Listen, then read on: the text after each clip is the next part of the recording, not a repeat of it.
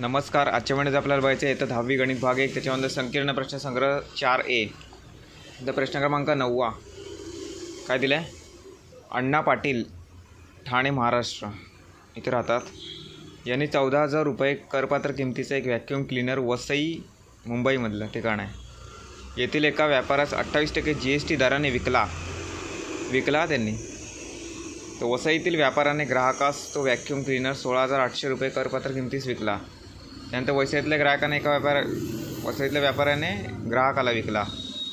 सोळा हजार आठशे रुपयावरती. आठशे रुपये करपात्र किमतीस. म्हणजे याच्यावरती पण जी एस टी लावून त्यांनी विकला. तर या व्यवहारातील खालील किमती काढा. ओके? तर खालील किमती काढायचे. तीन प्रश्न दिले आहेत तीन प्रश्नांची उत्तरं काढायची आहेत. पहिला काय प्रश्न आहे? अण्णा पाटलांनी दिलेला कर बिजकातील केंद्राचा व राज्याचा कर किती रुपये दाखवला असेल? म्हणजे अण्णा पाटलांनी जे बिल केलं बिल कोणतं?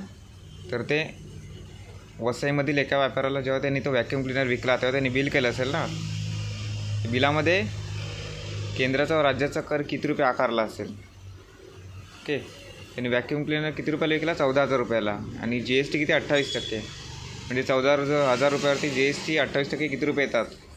ते बघायचं आहे तर जी एस टी काढल्यानंतर त्याच्यातला निम्मा काय असेल?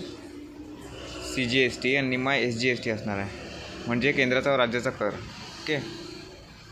तर आपण पहिल्या प्रश्नाचं उत्तर काढूया पहिलं. तर अण्णा पाटलांनी दिलेला कर बीजकातील केंद्राचा व राज्याचा कर किती रुपये दाखवला असेल? म्हणजे त्यांनी कर गोळा केला आहे वसईतील व्यापाऱ्याकडून. म्हणजे काय असणार तो? Output tax. Output tax. ते किती रुपयाला त्यांनी विकलं? चौदा हजार रुपयांना. टॅक्स चौदा हजार रुपयाचे अठ्ठावीस टक्के. किती येतात ते काढायचे ओके? म्हणून चौदा हजार गुणिले अठ्ठावीस टक्के म्हणजे अठ्ठावीस भागिले शंभर ओके? बरोबर. हा शून्य गेला हा शून्य गेला. हा शून्य गेला हा शून्य गेला.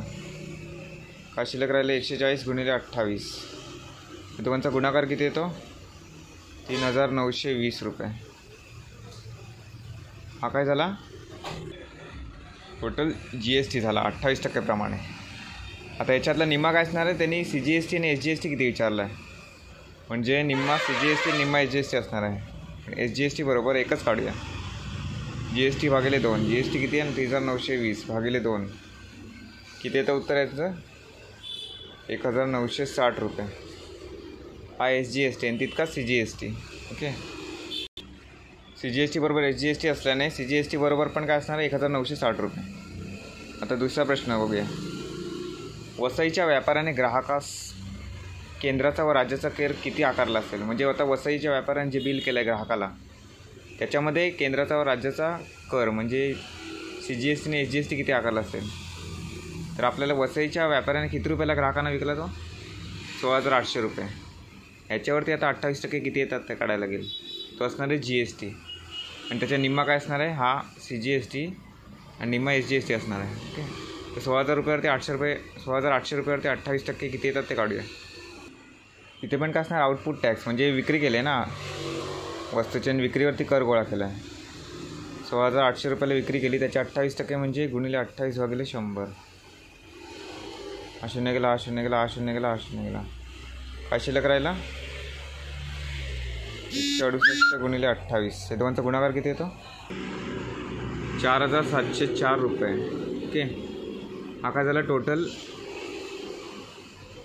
जी एस टी बरोबर चार हजार सातशे चार रुपये. आता त्याच्याला निम्मा काय असणार आहे? सी जी एस टी निम्मा एस जी एस टी असणार आहे.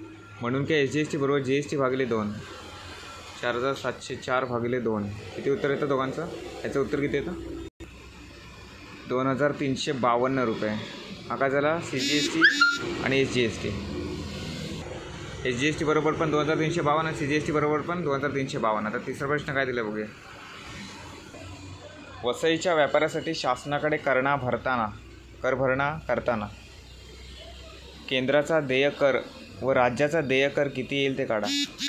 इथे आपल्याला देय कर काढायचं आहे देय कर. सी जी एस टी देय सी जी एस टी आणि देय एस जी एस टी काढायचं आहे ओके? तर त्यासाठी काय काढायला लागेल? देय जी एस टी देय जी एस टी कसं काढतात?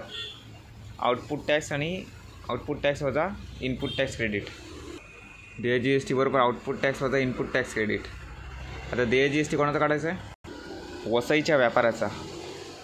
आउटपुट टॅक्स वसईच्या व्यापाऱ्याने ग्राहकास व्याख्यामुळे सोळा हजार आठशे रुपये विकला. म्हणजे आउटपुट टॅक्स म्हणजे काय? वस्तू विक्री करताना गोळा केलेला कर.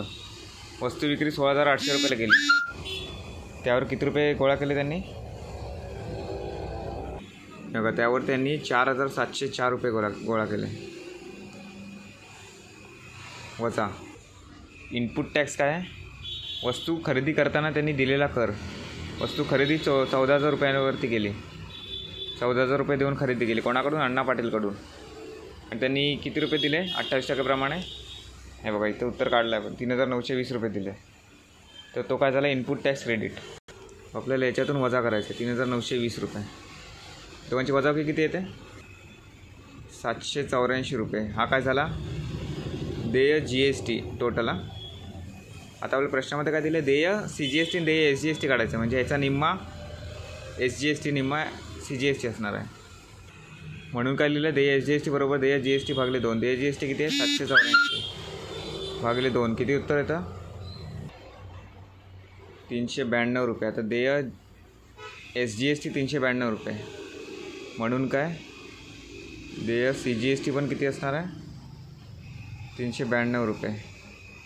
कारण हे दोन्ही समानच असतात. ओके? अशा प्रकारे तिन्ही प्रश्नाची उत्तरं झालेली आहेत. धन्यवाद.